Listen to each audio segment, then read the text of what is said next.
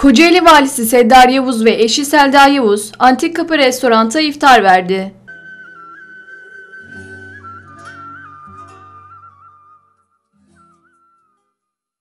Tüm konuklarını saygı ve sevgiyle selamlayarak sözlerine başlayan Vali Seddar Yavuz yaptığı konuşmada şu ifadeleri kullandı. özgür ve bağımsız yaşamaya devam edeceğiz.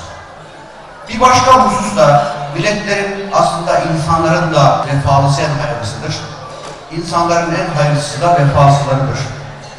Büyük milletlerin en önemli özelliklerinden bir tanesi vefalı olmasıdır. Yani kendisine hizmet edenleri unutmamasıdır. Onu hayırla yad etmesidir.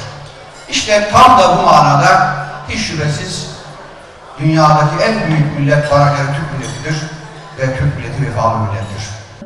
Vali Seddar Yavuz ve eşi Selda Yavuz'un selamlamalarıyla başlayan program, Fevziye Camii İmam Hatibi Faruk Çoban tarafından okunan Kur'an-ı Kerim tilavetiyle devam etti.